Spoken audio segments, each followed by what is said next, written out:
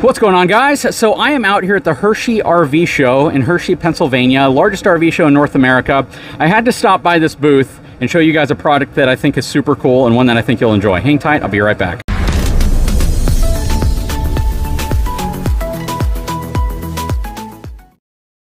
Okay, so if you've watched my channel for a while, you probably saw when I was out at my official channel sponsor's headquarters, eTrailer.com, and we saw a smart plug that had been installed on the side of a used RV, or one actually one of the employees' RVs. It was super cool to see. Um, you know, they did a good job explaining to me what it's about, but I actually ran into the folks at Smart Plug. They're out here in Hershey. And I want to take an opportunity here to get this gentleman to kind of explain the benefits, why somebody might want to switch to this from a traditional 30 or 50 amp connection. And I'll hand it to you. Give me, uh, give me the rundown. What makes sense about this thing? All right, good morning. My name's Ron Bailey. I'm Vice President Global Sales and Marketing for Smart Plug Products. We're 100% US made product based out of Seattle.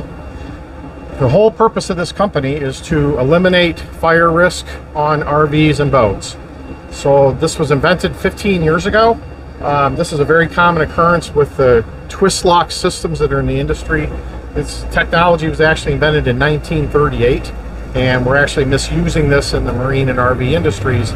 Um, this was the first drop ceiling electrical connection invented by George Hubbell back in 1938. Wow. So the problems that we find with this technology, and we've deconstructed that part. So this is what's called a pin and a clip, which is what's used in all twist locks. So there's a tiny hole there, which clips into that dimple, yep. and we're trying to pass 30 amps of current through that little tiny contact patch.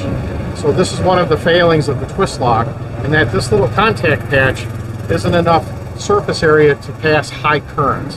And at 30 amps, what we wind up doing with corrosion and over time, we start generating a heat spot here. Heat spot will lead to what we call a thermal event, which then eventually leads to a melted plug. Okay. So very common in the industry. Um, the inventor of this smart plug technology came up with a straight pin system, pin and clip. It slides in, it's self-cleaning. We have 27 times more metal to metal contact patch to allow us to pass high current with very low resistance, which then results in low heat. So yours is based from more of a friction connection versus just a standard dropping in a slot connection, in other words. So the twist lock is relying on a spring tension, but also uh -huh. that little dimple mates to that hole. Got it. Um, we have a unique spring design that actually gets tighter as you pull down on it.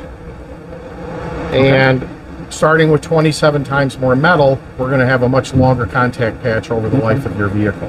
And it's a direct plug-in as opposed to a twist lock as well. Correct. Now, the owner also took the opportunity to improve the ergonomics of this package. So with the common twist lock, and I have one here, so you're having to look for this L-shaped pin. Everyone knows what that is. Mm -hmm. And you have to line that L-shaped pin up with the L-shaped opening in your plug. And if it's dark out, if it's angled, um, there's all sorts of issues with um, some of our customers with mobility issues and arthritic hands. Mm -hmm. This becomes difficult to mate. And um, also, most people don't tighten this up correctly. So this is actually a two-handed operation. You have to hold this to the right while you twist the ring with your left hand. And what we see most customers do is twist the ring and snug it. That's not tight enough. So what you wind up having is a plug that actually backs out by itself and it starts sparking internally. Okay. The smart plug system has this really unique, bus is what's called an asymmetric body. It's called castle to castle mating. It snaps straight in.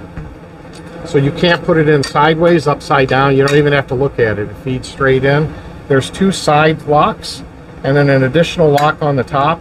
So what we've done by that is remove all the tension from the pins. I was just about to ask you, when a cord's laying down like this, how are you going to support it from putting excessive stress here? And your top lock addresses so that top leverage. lock, two side locks, plus this body-to-body -body mating.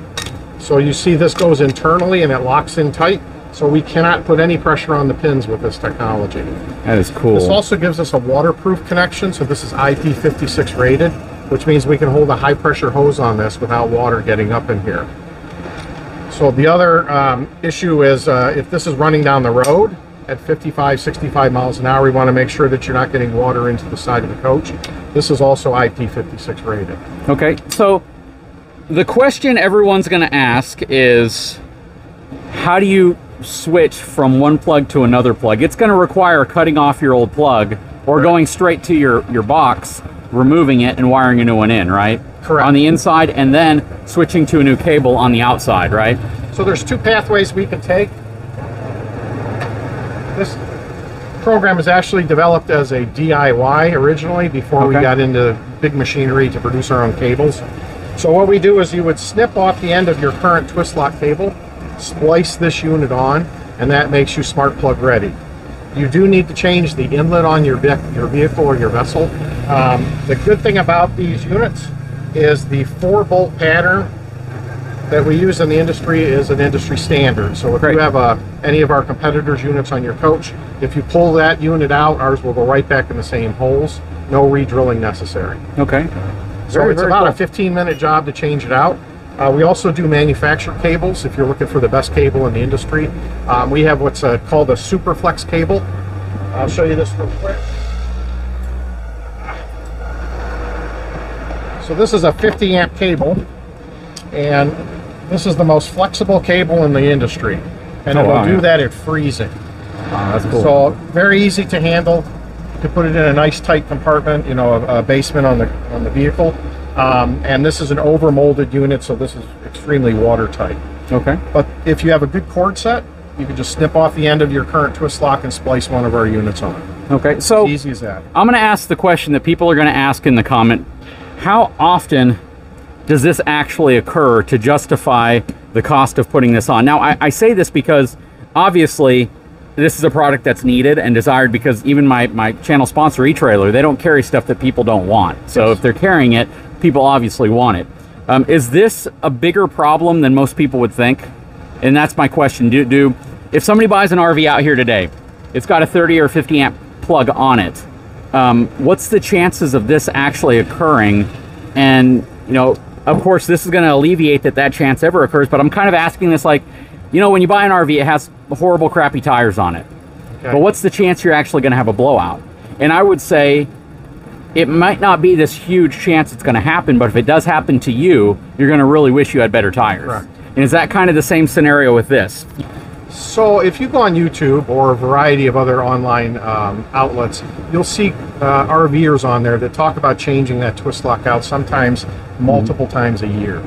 Okay. So what it gets down to is what is your usage factor and what are the loads that you're using on your RV. So if you have two air conditioning units, if uh, your wife is blow drying her hair in the morning, if you're popping corn, um, the loads that you're putting on your inlet, if it approaches 45 to 50 amps, you're increasing the chances you're going to have what's Yep. called a brown inlet. So that's kind of an indication, a canary in a coal mine, that your unit is potentially going to fail. Now, interesting story. We were at a huge rally um, a few months ago in Wyoming, and I was setting the booth up, and a, a gentleman comes in and asked me if I had a twist lock we could sell, because he came out in the morning and his neighbor was banging on his door, and his coach was on burning, and there was smoke coming out of his inlet. This is the actual unit. Oh wow. And um, it happened that the rally um, organizer had one of our units there that they could sell them. But this was happening just a month ago at a rally that was mostly new coaches. So this does happen very often. Um, fortunately, most people catch it before the, your unit catches on fire. But we look at it as increasing your peace of mind, making sure that you can sleep at night without worrying about these kind of conditions. In the summer, when you're really overloading your coach's electrical system, this is when this occurs most. Also, if you do use your unit in the winter, high heat loads can also cause this type of failure. Yep, I kind of consider it the fire extinguisher, uh, the fire extinguisher scenario. It's good to have it, even though you're using it to avoid a problem or prevent a problem. Yes. It may not ever happen, but to get the peace of mind to know that it's there and it may prevent the problem from ever happening in the first place. That's peace of mind. That's Yes. what people want, and that's all. That's really what RVing's about: getting peace of mind, having the best possible towing experience, camping experience, and accessory experience. So that's very cool. It is. Anyways, I really appreciate your time. Thank you so much. All right, Super cool you. product. My official channel sponsor, eTrailer.com, carries this as well. I've seen them install it, and you know the gentleman who has this on his RV over at eTrailer loves it. So I can definitely, I can definitely say that you know that's true feedback from someone who actually uses the product. Thanks again for your All right, time, My pleasure. Thank you. guys. If you haven't had a chance, please take a moment, subscribe to the channel, give me a thumbs up. We'll talk to you again very soon.